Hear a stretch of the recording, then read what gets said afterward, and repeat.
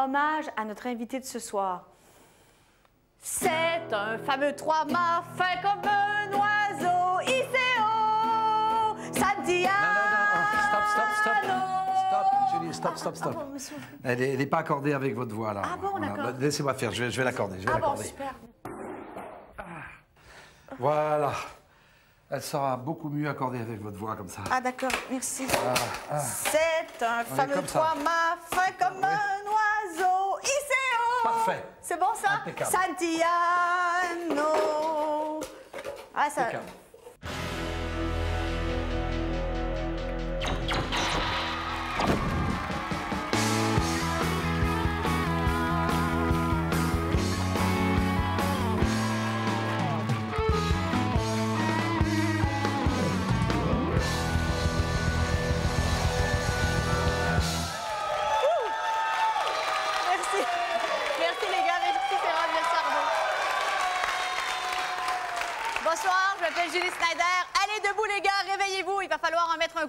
C'est un fameux beau gars, fin comme un oiseau qu'on reçoit. Il trimballe partout sa longue chevelure, son anneau à l'oreille et son blouson de motard. Hugo Frey parmi nous ce soir. Et avec lui, nous allons découvrir qui est le deuxième demi-finaliste de notre grand concours à la recherche de l'homme idéal.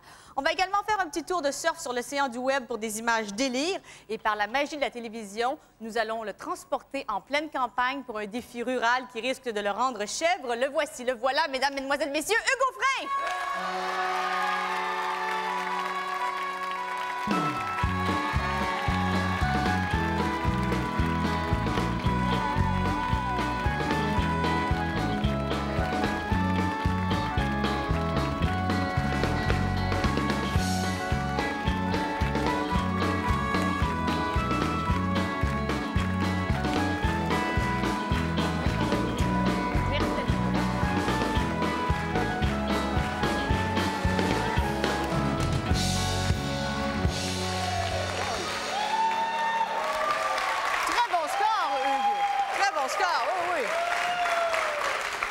C'est pas...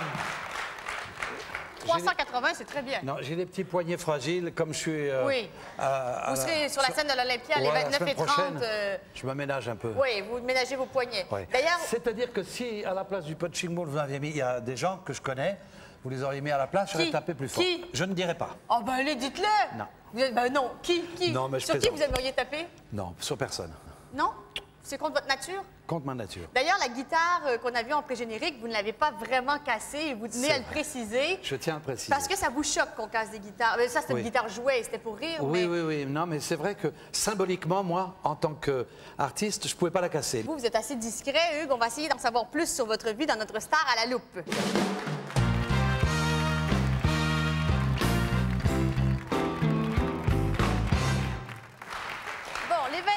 30 novembre prochains, l'Olympia. Est-ce que à l'Olympia, vous allez, vous allez refaire vos medleys, vos chansons euh, de, de- de vos, de vos vieux succès, j'imagine? Quand on a 40 ans de carrière, le, le problème, c'est le choix des chansons. Alors, il y a évidemment tout, euh, une partie de, surtout l'ouverture du spectacle, qui est très belle. Ceux qui arriveront en retard, tant pis pour eux, parce qu'ils ils rateront peut-être le meilleur. Et, et ce sont les chansons extraites de- du dernier album qui s'appelle Chacun sa mère, Oui. dédié aux marins en particulier. Et euh, ensuite, évidemment, pour les, pour les plus fidèles, euh, il y a toutes les chansons anciennes. Mais Enfin, Qui euh, réveille notre âme de scout. ah bah bien sûr, il y a, mais il y a- mais il y a quand même des chansons, euh, peut-être que je vais chanter ce soir, que je, que je ne chanterai pas. Mais là, pour notre plus grand plaisir, vous allez nous faire nos, nos chansons. Oh, euh, oui, je vais vous en faire une nouvelle. Les Hein? Les classiques, maintenant, oui. Tout de suite Tout de suite avec votre guitare. Avec votre guitare que vous n'avez pas cassée. Toc, toc, toc. Ça va On commence par le port de Tacoma. Eh bien, si vous voulez, le Hein port de Tacoma, ça, c'est peut-être une chanson que je vais... Oh là là Ça, vous allez la faire, celle-là, euh, à savez, l'Olympie? Mesdames et messieurs, c'est improvisé. hein, la?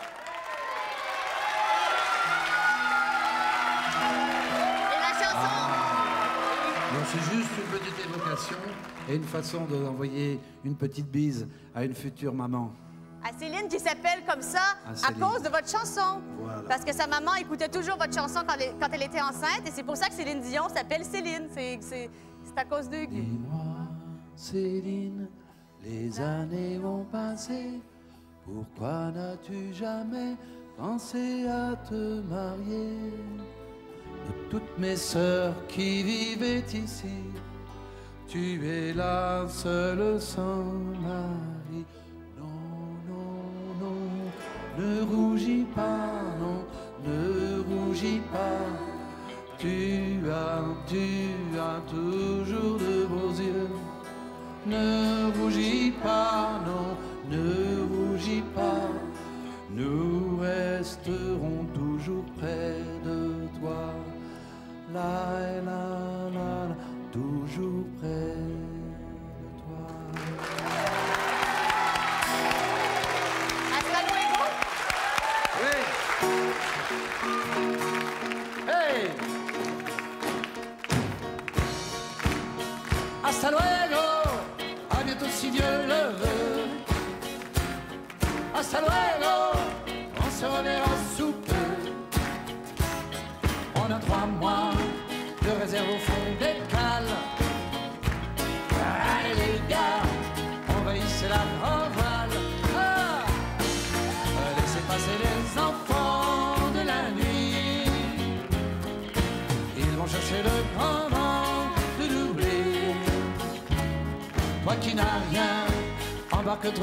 avec nous. Donne-moi la main, car ta place est parmi nous. Hasta luego! Bravo! Merci beaucoup! Merci! Merci beaucoup! Merci. Bravo les musiciens, merci. Merci beaucoup les musiciens. Ouais, Merci oui. Isabelle. C'est improvisé, hein? Oui, mais c'est ça Ouais, qui est bien. c'était bien, bien, bien, bien.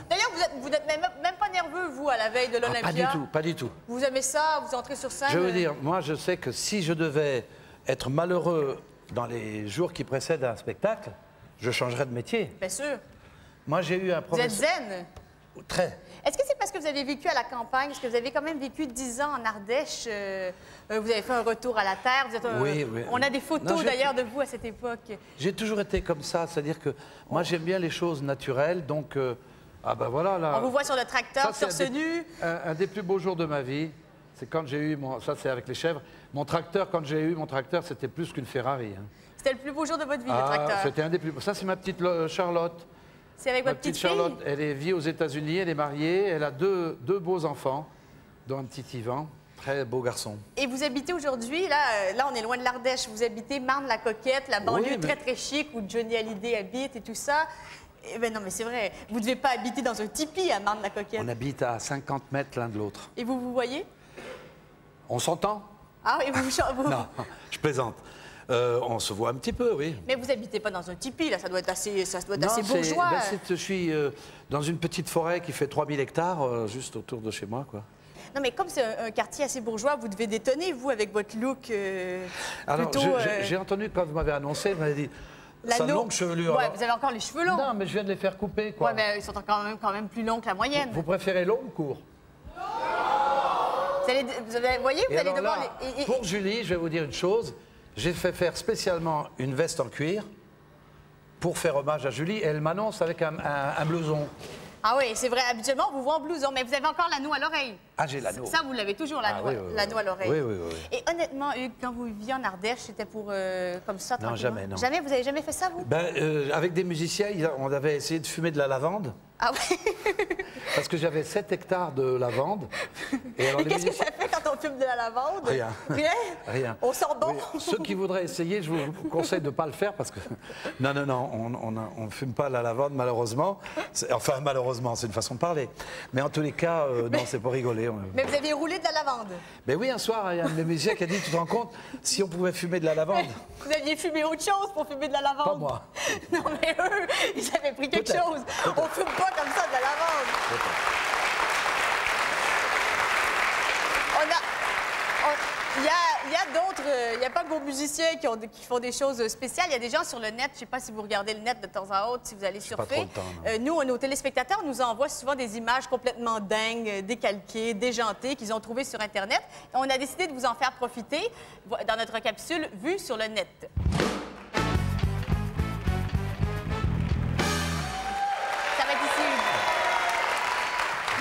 Beaucoup les chevaux. D'ailleurs, vous êtes un super Oui. bon écuyer. Ah oui, oui, je suis un bon cavalier. Bon, et euh, on, euh, on va voir quelqu'un qui va marquer son cheval au fer rouge, ce qui n'est pas très, très agréable pour le cheval et ce qui n'est pas une très bonne idée de marquer un cheval au fer rouge. Enfin, moi, je ne vois pas l'intérêt. Ben, mais, Vous savez que y a- les gens ne savent pas, il y a beaucoup de voleurs de chevaux. ouais, mais quand même, le marquer au fer rouge, pauvre cheval. Il Mais vous souffre allez- pas. Ben, vous allez voir que celui, celui-là, Ah. non seulement il souffre, mais il s'est bien vengé. Hein? Ah. Il s'est dit, euh, voilà, vous allez voir que le, le cheval, il s'est pas laissé faire. Et on va regarder ça tout de suite, vu sur le net. Je sais pas si, je sais pas si vous- on va, le- on va revoir l'image. Je sais pas si vous Eh voyez, oui, mais il reçoit le fer et lui, il décide que lui aussi, il a un fer et qu'il va en envoyer un bon coup. Normal, hein? Alors, c'est 1-0 pour le cheval. On regarde l'image au ralenti.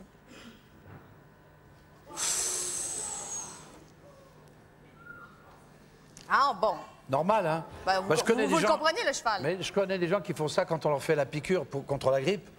Ouais. Ah, ils font un plat parce qu'on va leur faire une piqûre. Moi, on me fait une piqûre, je suis debout, je discute, on me fait la piqûre dans Ben la ouais. fesse, le bras, n'importe où. Vous donnez pas le coup. Évidemment, le monsieur, il est en bonne santé. Il, lui est- bon, il a reçu le coup, il l'a encaissé, mais là, il, il va mieux. On nous a dit qu'il allait mieux. Donc, vous êtes, vous êtes un homme idéal, vous, pour les femmes, Hugues? Oui? Ah, Absolument. pas de complexe, hein? Pas de complexe. Pas de complexe d'infériorité? Très bon père, très bon grand-père, très bon copain, très bon mari. Je, je suis parfait, quoi. Très bon amant aussi. C'est d'ailleurs.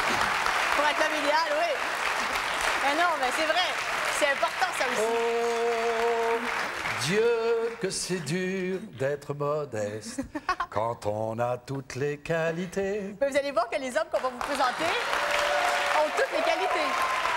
Parce que nous, sommes à la recherche euh, de l'homme idéal dans notre grand concours euh, de l'homme idéal et c'est un concours national. La semaine dernière, vous avez élu le représentant de la région 01, Monsieur 01, qu'on voit là, et euh, il a gagné. Donc, et ce soir, nous allons vous présenter les finalistes de la région 02. C'est pour notre rubrique du mardi.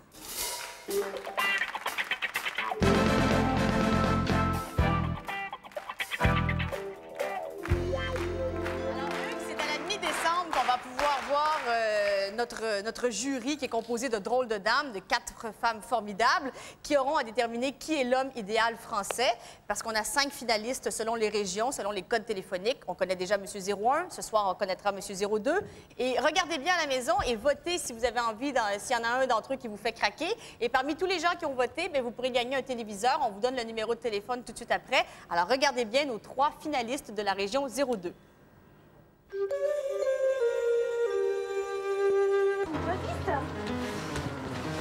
Oui, bonjour. bonjour. Est-ce que vous savez que vous êtes sélectionné pour le concours de l'homme idéal? Ah, mais j'en sais rien, moi, j'ai jamais dit que c'était un type bien, moi. Parce que j'aime beaucoup rire et, euh, et que le fait euh, qu'on dise que j'ai une mentalité d'un gamin de 8 ans ou euh, de 12 ans, j'en ai rien à faire. Et, et je peux faire des blagues stupides et être très chiant. Voilà. Je suis pas du tout idéal.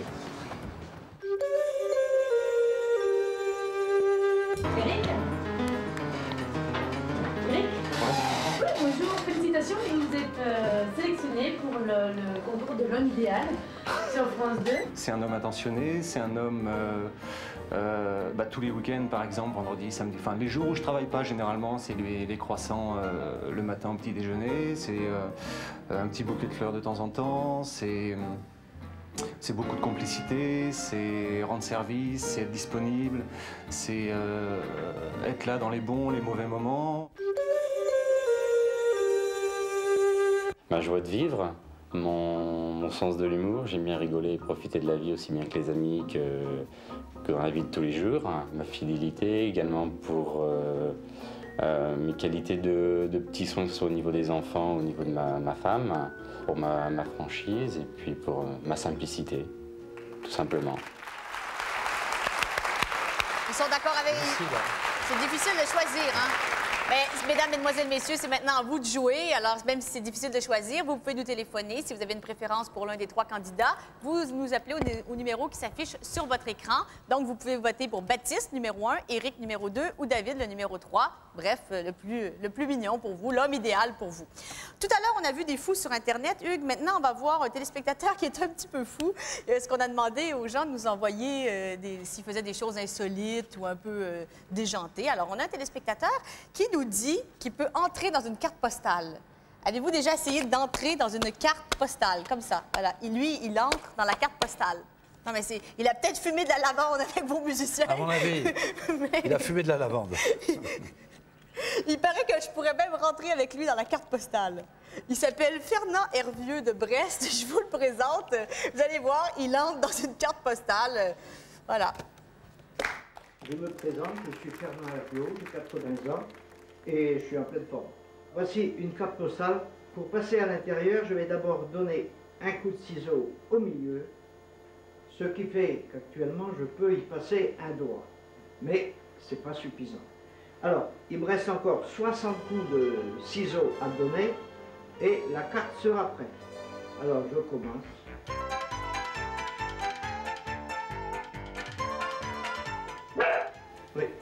Votez droit. Ma foi, il faut bien faire travailler ses neurones. Voilà donc la carte postale que vous voyez dans sa dimension. Elle est toute euh, découpée. Et maintenant, regardez, voilà le travail. J'agrandis, j'obtiens une couronne qui mesure entre 2,30 m et 2,50 m de tour. Alors là, je passe facilement. Et j'aurai même Julie dans mes bras. Eh bien, on y passerait tous les deux. Elle bien serrée contre moi, ça serait drôlement agréable.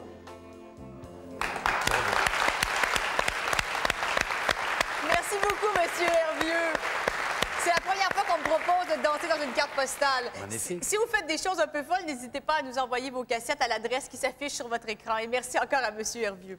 Maintenant, vous, Hugues, Oui. votre dernier disque s'intitule Chacun sa mère. Oui. Alors, j'ai une question un petit peu indiscrète à vous poser. Allez-y. Ça s'appelle Vérité ou Cancan. Vous avez le choix.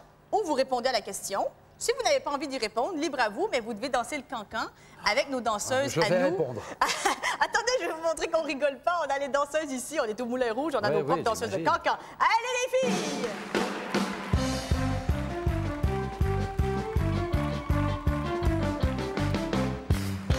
Bravo.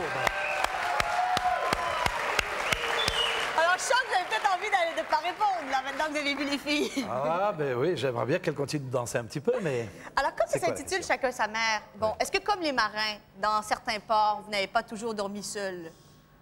Bah, évidemment. Vous auriez voulu que je vous réponde, mais non, pas du tout. Je- Vous voulez dire que. Avez-vous déjà été infidèle? Infidèle, non, parce que infidèle, ça voudrait dire qu'on renie quelque On a chose dit de vérité au cancan, là. Mais non, mais on- non, mais euh, non, c'est parce que vous avez euh, un mot que- qui ne me convient pas. La fidélité, c'est pas, c'est pas ça. Mais ah, est-ce que j'ai eu des Expliquez-moi ce avan- que c'est, alors. Est-ce que j'ai eu des aventures dans ma vie? Mais ça serait un, men- un mensonge énorme que de dire que j'en ai pas eu. C'est forcé. C'est forcé. Et puis, et puis je- je- est-ce que j'en suis fier? Pas, pas vraiment, parce que euh, quand on est jeune, on ne sait pas. Et si maintenant je revenais sur Terre en gardant certaines expériences, Oui. je pense que je serais beaucoup plus attentif à ce sujet-là. Parce que vous l'avez regretté par la suite. Oui. J'ai Donc- regret- Parce que je trouve que quelquefois, mais c'était un peu la mode. Je vais vous être clair, Oui. je, je fumais deux paquets par jour de cigarettes. Parce que tout le monde fumait et que toute la société dans laquelle je vivais vous poussait à fumer. Et, Et vous poussait aussi à... Voilà, à- et, et à- les filles, en 70, les filles, c'était la liberté des mœurs avec la pilule.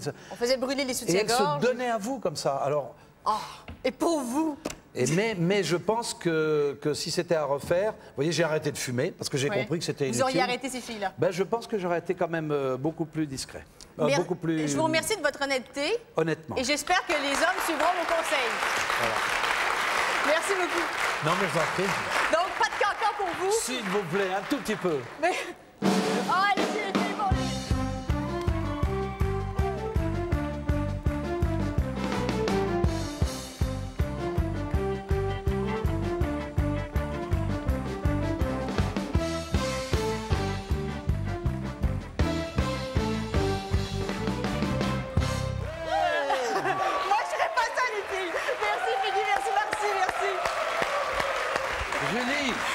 Je suis désolée, hein, moi, euh, très franchement. j'ai pas ces fesses-là, donc euh, Très les franchement. aurais, j'aurais relevé là, Ben pas. oui, mais très franchement, vous voyez, c'est difficile d'être fidèle quand on voit ça. Ouais, Allez, mais vaut mieux regarder que toucher.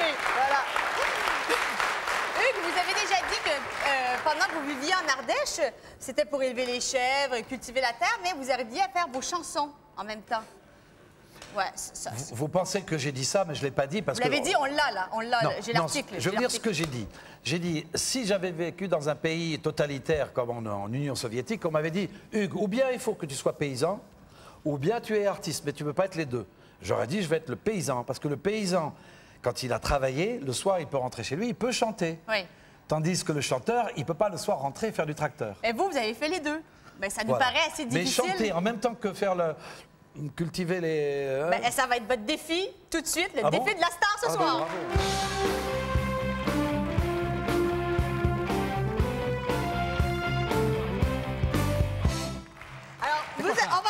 Vous pouvez chanter Attends. tout en cultivant la terre. Et... Mais j'ai pas besoin de mettre ça. Ben, c'est parce que vous allez aller sur la ferme, là, si vous voulez pas vous salir. C'est pour, c'est pour vous, hein? Oh, mais non, mais c'est- je vais Ça pas, va? ça va pas Vous passer. voulez mettre le- Oh non, même pas. D'accord, ben moi, je vais mettre Rien, la robe de... rien. Moi, je Oh, mets la robe de fermière. Voilà. Moi, je vais être votre assistante. Et euh, pendant la chanson... Elle est trop petite, ça fait rien. D'accord. Mesdames et messieurs, je ne savais pas, j'ai une grosse tête. vous avez la grosse tête.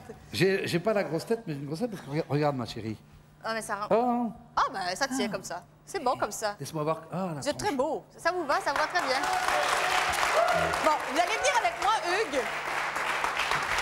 Et là, votre défi, c'est tout en chantant Debout les Moi, ça gars. me tient chaud, ça. hein, Ça fait Ouais. rien. Bon. Eh, si je le mettais comme ça. Parfait, ça c'est mignon comme ça.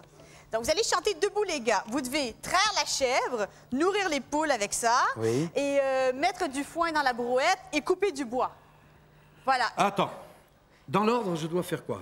Premièrement, on traite la chèvre. Ah. Deuxièmement, on nourrit les poules. Troisièmement, on met du foin dans la brouette. Et quatrièmement, on fend du bois. Tout ça en deux minutes.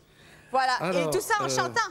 En chantant. C'est Voilà. un- C'est debout les, debout les gars. Alors, je dis. je préviens- Isabelle va vous aider. je Isabelle, préviens, tu... je préviens le public que, que les chèvres, elles, comme, comme tout le monde le sait, c'est un animal capricieux, puisque chèvre, capricieux, ça vient de chèvre. ne, ne commencez pas à vous Et elle dégonfler. se laisse pas traire on, comme ça.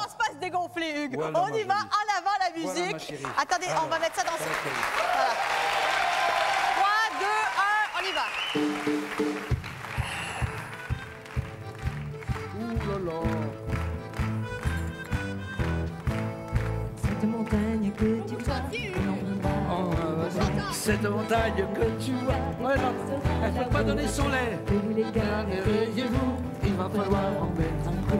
Debout les gars, réveillez-vous, on va au bout du monde. Peut pas donner son la,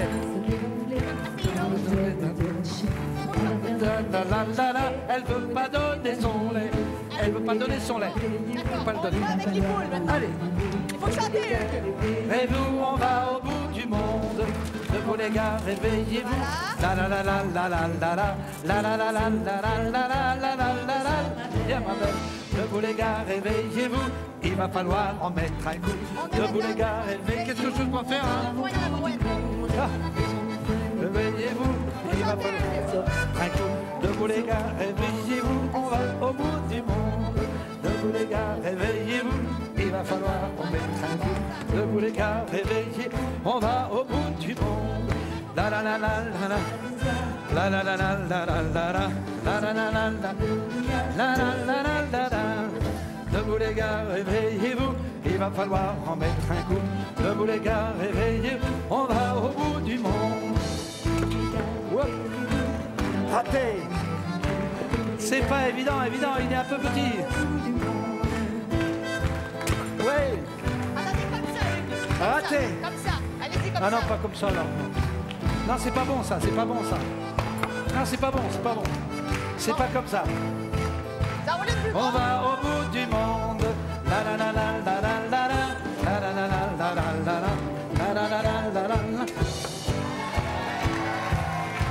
Ils sont trop petits. Merci beaucoup, Hugues.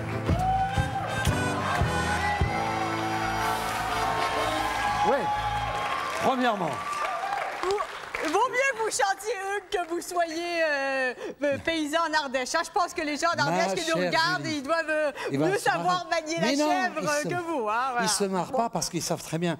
La chèvre, elle est stressée et elle a des tétines, elle est comme ça, elle, elle est complètement contractée, elle donnera pas son lait.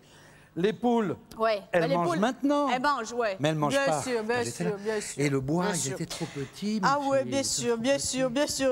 Allez, c'est beau, Ou alors il aurait fallu une on, ira, on ira le voir à l'Olympia parce que je pense que sur scène, il est meilleur qu'avec les chèvres. Certainement. 29 et 30 novembre, Hugues Ouffray à l'Olympia, là où il va donner sa pleine mesure. On se retrouve demain.